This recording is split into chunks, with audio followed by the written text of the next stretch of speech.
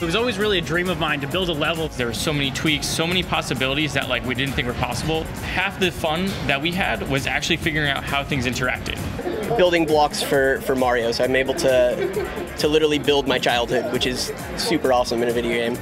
You're taking something that everybody already knew what it was and just letting them build something brand new with it. Just watching it, it's like really easy to make and the fact that you can like play it and see how it is and you can trace back, I thought that was really cool development tool for like a really foundational game for pretty much every game designer in the industry. It was like, you know, it's a really exciting opportunity. And people building a bunch and bunch of different levels and really taking their creativity and pouring it out into um, kind of the, the canvas they had in front of them. So we're finding out new things about the characters and we're finding like new features that we're adding. As a kid, I would always be like, oh man, I wish I could make my own levels, and this is it.